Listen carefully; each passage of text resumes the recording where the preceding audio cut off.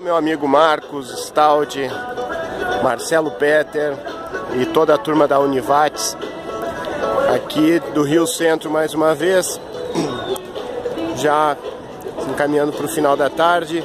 Daqui a pouquinho, na Arena Carioca 1 tem o jogo dos americanos, né, do basquete, Estados Unidos e China, estreando na Olimpíada, no basquete masculino.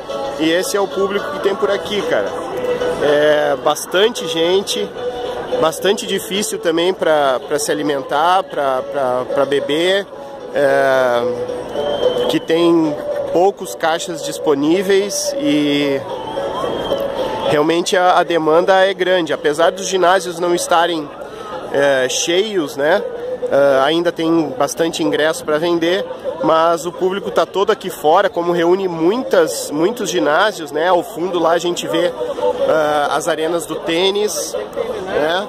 Aqui à direita uh, o Rio Centro, a Arena Carioca 1, 2 e 3, ao fundo uh, mais